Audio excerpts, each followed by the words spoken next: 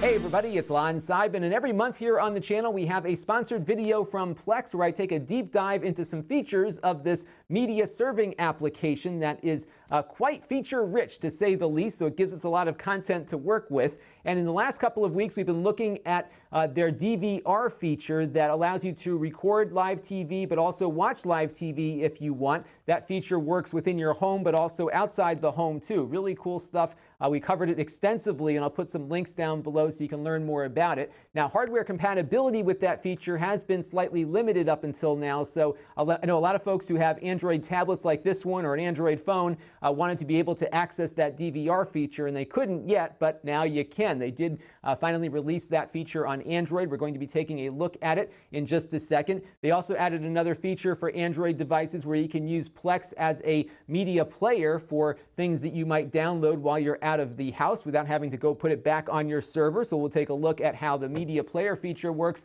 and we'll also see how we can watch live TV now with Plex on an Apple TV as well. So lots of new stuff to take a look at, and we're going to dive into it right now. But I do want to mention, in the interest of full disclosure, that this video is a paid sponsorship by Plex. However, all the opinions you're about to hear are my own, and they are not reviewing this content before it is posted. So let's get into it, starting with Android and the Plex DVR. So let's start off now on my Android tablet here, and you'll notice that I've got now a program guide as well as access to the recording schedule. So I can click on program guide here, I can go over here to watch now and see uh, what might be on TV right now waiting for me. So if we want to take a look at uh, Maury here and see uh, who the father is. We can load that up here. It's going to contact my uh, Plex server that is currently running on my network attached storage device, and it will soon start streaming uh, the live TV here for me to take a look at. They've also added some time shifting features now to all versions that support this live TV playback, so I can uh, pause this. It will record here in the background, and I can skip backwards or forwards here now as well. So you have full access to all the features you might have on the Android TV version now. Additionally, I can also set things to record in this interface too. So if I scroll down maybe to some things that are on later this afternoon, let me just back out of here for a second and go over to uh, maybe some upcoming movies here. And if I want to uh, record The Hangover that starts in 44 minutes, I can just go ahead and uh, click on the record button here and it will add that to the library and it will automatically get that going. And of course, that recording now will be visible on all of my uh, other Plex clients all over the house. Now, you do need to make sure that the Plex server that's running on your computer or NAS device is up to date. You also need to make sure that your version of Plex running on your device is equally up to date, and uh, that will happen through the Google Play Store. And what's cool about this is that it all works seamlessly. So if you're away from home and you wanted to make sure that your favorite show is going to get recorded, you can take out your phone, for example, load up Plex, and set that recording to happen. You can either watch it remotely from your hotel room or something, or have it waiting for you when you get home. That's one of the strengths of Plex is that it has a very seamless connection, whether you're uh, on a mobile device or on something something plugged into your TV. Uh, there's also, of course, a version here that runs on phones, and that uh, DVR feature is now visible on here too. So I can go back to my program guide and start watching stuff live on here too if I want. So it's the same experience whether you're on a phone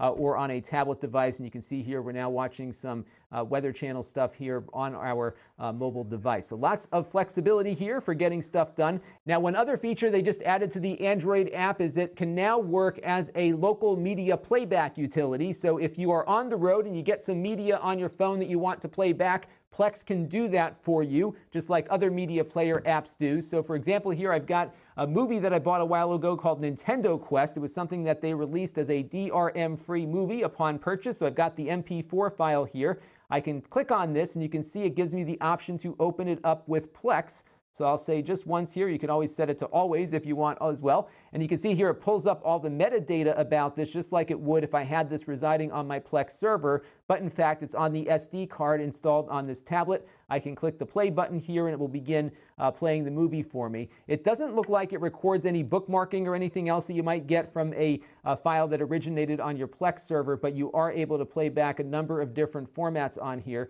Uh, the performance of this I'm finding varies based on the device. So some phones which aren't as powerful may not do so well with some high bitrate video, whereas a uh, more powerful tablet, for example, might. So you may want to play with this a little bit before you head out on the road, but it does play back a good number of formats. You might have to buy the unlocked version of the app, which is a couple of dollars if you don't have that purchased already. However, it does not require a Plex Pass subscription to work. So, nice little uh, add on here so you can use Plex as your media uh, playback app for both local files on the device as well as things that might reside on your server. So now let's take a look and see what's new with the Apple TV. They've added some live TV watching to this one too, so I'm going to plug this in and we're going to check it out. Okay, so we've got Plex now running on my Apple TV and we've got a few options up here, fewer than we have on other platforms, and I'll talk about that in a second. But if you want to watch live TV and you got everything set up and everything updated, uh, you'll now see a live TV icon on here, and it'll pull up a, a, similar interface to what we've seen on some of the other platforms. So if we want to watch Maury again, I can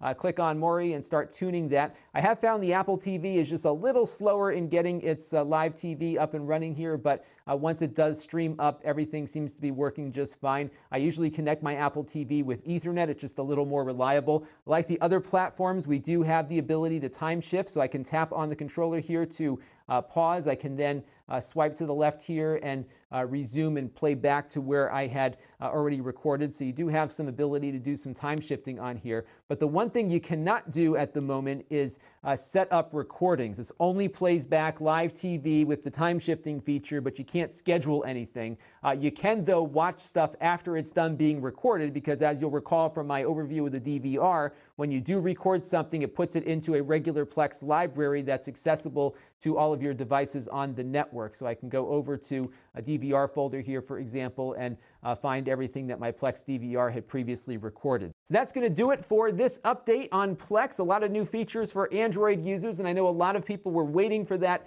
uh, Android phone and tablet client to get updated, so now they've got it. iOS has had it, of course, but now iOS also gets the time shifting too. So lots of new updates here. The feature is becoming uh, definitely more fleshed out as time goes on. They have uh, committed to putting this on Roku, and that's something that I know a lot of people have been eager to see because there's not too many DVR options on Roku yet. So when that happens, we'll cover that and it also looks like they're focusing on getting this working for smart TVs as well, at least according to their uh, most recent update on their feature set there. So that's going to do it for this one. I want to thank Plex again for sponsoring the channel, and we'll have more with Plex coming up in the very near future. This is Lon Seidman, thanks for watching.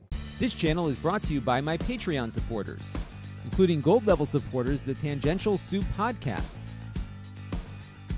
and Chris Allegretta. If you want to help the channel, you can by contributing as little as a dollar a month.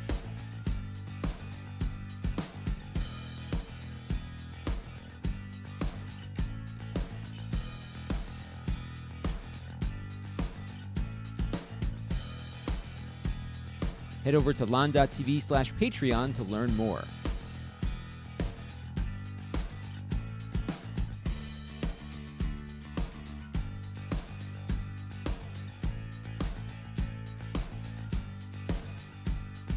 And don't forget to subscribe. Visit lon.tv slash s.